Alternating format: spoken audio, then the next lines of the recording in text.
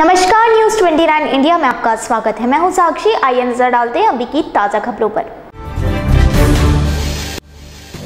थाना प्रभारी आरएनएस भदौरिया ने क्षेत्र के रहवासियों के साथ की बैठक। द्वारकापुरी क्षेत्र में लगातार हो रही घटना को लेकर ली बैठक। बड़ी संख्या में महिलाएँ और बच्चियाँ हुई शामिल। आगामी त्यौहार को देखते हुए खाद्य विभाग ने कसी कमर विभाग ने अपने मुखबिर किए सक्रिय। मुखबिर की सूचना के बाद पकड़ा 1000 किलो मावा। कांग्रेस को बड़ा झटका देते हुए उज्जैन से सांसद रहे प्रेमचंद गुड्डू और उनके बेटे ने ग्रहण की भाजपा की सदस्यता। भाजपा में शामिल हुए अजीत बोरासी ने कहा, कांग्रेस सिर्फ़ राजा महाराजाओं की पार्टी है। द्वारकापुरी क्षेत्र में लगातार हो रही बच्चियों के साथ हत्या और छेड़छाड़ की घटनाओं को लेकर थाना प्रभारी आरएनएस भदौरिया ने क्षेत्र के रहवासियों की बैठक ली, जिसमें बड़ी संख्या में महिलाएँ और बच्चियाँ शामिल हुई। थाना प्रभारी भदौरिया ने सभी महिलाओं और बच्चियों को अपना मोबाइल नंबर दिया। इसके साथ ही थाना प्रभारी ने क्षेत्र में हो रही अवैध गतिविधियों को लेकर शिकायत करने के लिए भी कहा है। उन्होंने कहा कि किसी भी, इसे भी डरने की ज़रूरत नहीं है। शिकायतकर्ता का नाम गुप्त रखा जाएगा। इस बैठक में थाना प्रभारी के साथ सीएसपी एस के तोमर भी शामिल हुए। आगामी त्यौहार को देखते हुए खाद्य विभाग ने अपने मुखबिर सक्रिय कर दिए हैं। वहीं खाद्य विभाग ने खाद्य पदार्थों में मिलावट करने वालों की धरपकड़ के लिए अभियान भी चला रखा है। इसी क्रम में खाद्य विभाग को मुखबिर से सूचना मिली कि इंदौर से रायपुर की ट्रेन में करीब 1000 किलो मावा ग्वालियर से इंदौर पहुँचाया जा रहा है। विभाग ने रेलवे स्टेशन पहुंचकर ट्रेन से निकली मावा जब्त कर लिया। जानकारी के मुताबिक इंदौर में ज़्यादातर नकली मावा ग्वालियर से ही आता जाता है। कल से लेके जो है, कल कार्रवाई की थी को वहाँ पर जो है लगभग बारह सौ किलो मिल्क और बर्फ़ी जो है, वो सीज की गई है और उसके सैंपल जो है भोपाल भेजे गए जाँच के लिए। और उसके बाद जो है शाम को लगभग 840 किलो मावा आने की सूचना मिली। थी उसको लेके जो है वो, उसमें कोई व्यक्ति जो है अट्ठाईस व्यक्ति नहीं आया। मावा भी हमने कोल्ड स्टोरेज में रखाया हुआ है। और जैसे भी व्यक्ति आता है उससे सैंपल करके नियमानुसार कार्रवाई की जाएगी।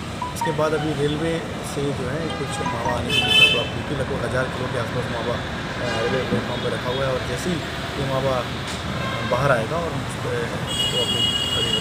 विधानसभा चुनाव के मद्देनजर भाजपा की सूची जारी करते ही सियासत गर्मा गई है। कांग्रेस को बड़ा झटका देते हुए उज्जैन से सांसद रहे दिग्गज नेता प्रेमचंद गुड्डू और उनके पुत्र ने भाजपा की सदस्यता ग्रहण कर ली है। इसके अलावा प्रदेश कार्यकारी अध्यक्ष अजीत बोरासी ने भी कांग्रेस का साथ छोड़ते हुए भाजपा का दामन थाम लिया। भाजपा में शामिल हुए अजीत बोरासी ने कहा कि जिस तरह से शिवराज और मोदी काम कर रहे हैं, वह सराहनीय है और यह काम मुझे भी पहले ही कर लेना था। पिताजी के साथ कांग्रेस में शामिल हुआ था, लेकिन कांग्रेस सिर्फ़ राजा महाराजाओं की पार्टी है। कांग्रेस के नेतृत्व ने यह एहसास दिला दिया कि वहाँ हमारी जगह सिर्फ़ दरी बिछाने की है। छावनी पुलिस चौकी पर लगे भाजपा के पोस्टर और सुझाव पेटी को कांग्रेस की शिकायत के बाद हटा दिया गया। कांग्रेस ने भाजपा पर आचार संहिता के उल्लंघन का आरोप लगाते हुए शिकायत की है। छावनी पुलिस चौकी पर भाजपा के पोस्टर लगाने और मेरा सुझाव, मेरा चुनाव की पेटी रखने का मामला सामने आया है। पोस्टर की सूचना मिलते ही कांग्रेसी चौकी पर जमा हो गए और इस बात की शिकायत की। शिकायत के बाद पुलिस ने पेटी और पोस्टर जब्त कर लिए हैं। कांग्रेस के कार्यकारी अध्यक्ष विनय बाल्कीवाल ने भाजपा पर पोस्टर लगाने और सुझाव पेटी रखने का आरोप लगाया। साथ ही चुनाव आयोग से आचार संहिता के उल्लंघन की शिकायत भी की। नेपा नगर में 28 नवंबर को होने वाली आगामी विधानसभा चुनाव को लेकर प्रशासनिक तैयारियाँ पूर्ण हो चुकी है और नामांकन पर्चा लेने और दाखिल करने की प्रक्रिया शुरू हो चुकी है। निर्देशन पत्र जमा करने की अंतिम तारीख 9 नवंबर और प्रत्याशी के नाम वापसी की अंतिम तारीख 14 नवंबर है।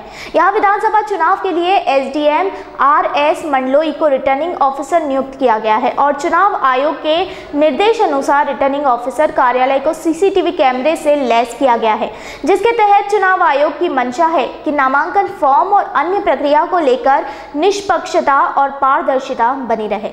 और बीच में चार तारीख को रविवार होने से और सात तारीख को दीपावली की छुट्टी होने से ये सार्वजनिक अवकाश के रूप में घोषित है। तो इस तारीख को नामांकन पत्र नहीं लिए जाएँगे, बट दो से नौ तक रहेगा, चार और सात की छुट्टी देंगे। इसके बाद बारह तारीख को स्क्रूटनी होगी, हम समीक्षा करेंगे। समीक्षा के बाद नाम वापसी की आखिरी तारीख चौदह है, उसी दिन कैंडिडेट फाइनल हो जाएँगे कि कौन कौन चुनाव लड़ रहे हैं। अभी की खबरों में बस इतना ही। लगातार खबरों के लिए बने रहिए न्यूज़ 29 इंडिया के साथ। एक देश, सारे प्रदेश।